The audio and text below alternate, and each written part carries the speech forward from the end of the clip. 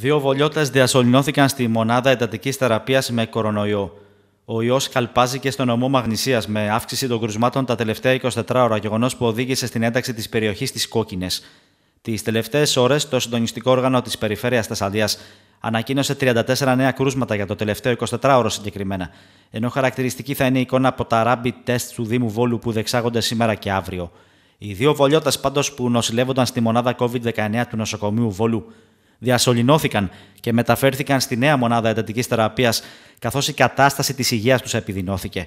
Σύμφωνα με τον πρόεδρο των νοσοκομιακών ιατρών, κύριο Μαλινδρέτο, ο ένας εκ των δύο βολιωτών προσήλθε στο νοσοκομείο με δύσπνοια. Θα σας πω ότι συνολικά έχουμε περισσότερους από 20 ασθενείς. Η τελευταία ενημέρωση που είχα ήταν για 23 ασθενείς, εκ των οποίων ε, δύο είναι διασωληνωμένοι. Αυτή είναι η γενική εικόνα.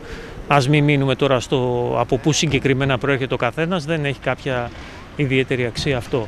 Εκείνο που έχει αξία είναι να ξέρουμε ότι ο ιός υπάρχει στην πόλη και πλήττει τις ευπαθείς ομάδες και όχι μόνο.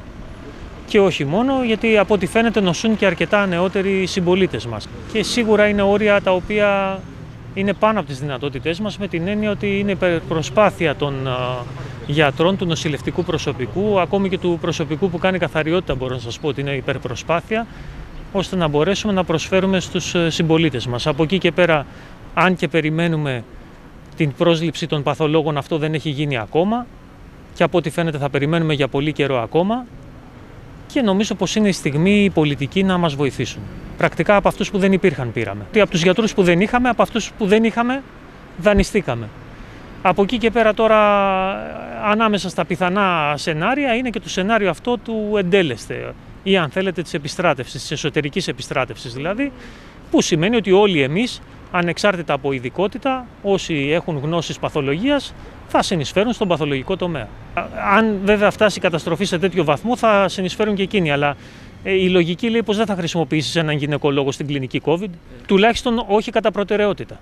Δεν είναι χρήσιμο και δεν είναι σωστό πιστεύω να κάνουμε προβλέψεις ε, για ασθενείς που ε, πάσχουν από τη συγκεκριμένη ίωση γιατί έχουμε δει πως τα αποτελέσματα είναι απρόβλεπτα.